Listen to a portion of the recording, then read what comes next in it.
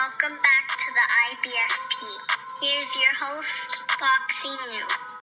Navarrete beats the brakes off our Oscar Valdez. And look, let's break it down honestly and objectively as possible. And Navarrete comes out and wins a unanimous decision to beat Oscar Valdez to retain his WBO world title. I mean, this was an excellent fight, and he just really outworked Oscar Valdez the entire fight. His jab was pumping in his face, stopping him from getting on the inside and doing all the things that Oscar Valdez likes to do. When Oscar Valdez did get in, when Oscar Valdez did land a big shot, it was simply not effective enough to stop this man. At the end of the day, Oscar Valdez was also looking for that home run shot too much, too often in this fight, and you simply have to diversify your attack when you face a good fighter like Navarrete. In my opinion, Navarrete is the best fighter at 130 pounds. The man showed that he's in another class, in another league at this point, and I was extremely impressed because he even put on this performance with a hurt hand. Also, Valdez had his eye almost completely shut. I mean, he literally beat the queso fresco